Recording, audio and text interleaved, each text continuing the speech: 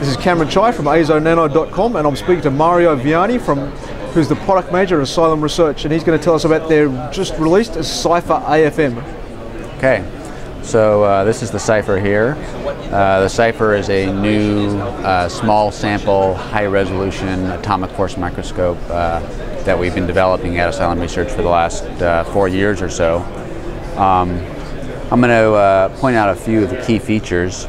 Uh, first of all, this thing comes in a uh, environmental uh, hood to uh, control uh, acoustic noise and also to control temperature variations.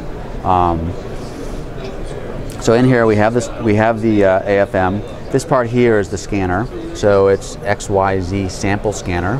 Um, the cantilever and sample live in, in this part of the scanner. Uh, the important thing to know about the scanner is that it has uh, now sensors that are used for closed loop scanning that are sub angstrom. So in a kilohertz bandwidth, we uh, have sensor noise below 60 picometers. And what this means is for the very first time, uh, you are able to uh, achieve atomic resolution while scanning in closed loop uh, in XY. Uh, the second thing to know about this system is that it uh, is able to use smaller cantilevers. So uh, for the first time, there's a co commercial AFM that has high enough uh, numerical aperture optics, as seen here with this objective. This is a, a 20x 0.45 NA objective that's used to uh, focus the uh, laser light onto the cantilever and we can achieve spot size, spot sizes, focus spot sizes down to uh, three microns uh, by say 10 microns in length. The advantage of uh, using these smaller cantilevers uh, is one noise, but secondary, secondarily is speed.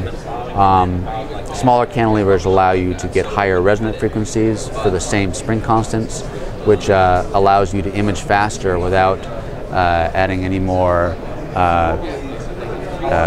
without causing any issues with uh, destroying your sample.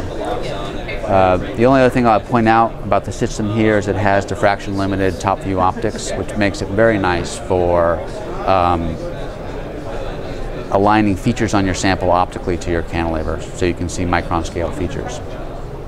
So I think I'm just going to go over to the uh, software now and just show you uh, we have a small cantilever in, in, in the uh, system right at, right at the moment.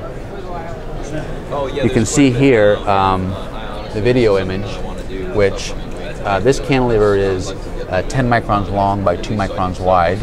Um, and uh, so this is one of the uh, prototype small cantilever that we have.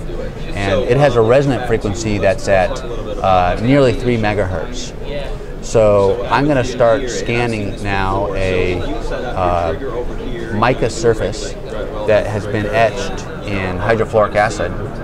And the hydrofluoric acid um, will etch the mica in such a way that it leaves, uh, leaves behind single atomic steps. So these different layers here show uh, single atomic steps of, uh, of, uh, of the mica.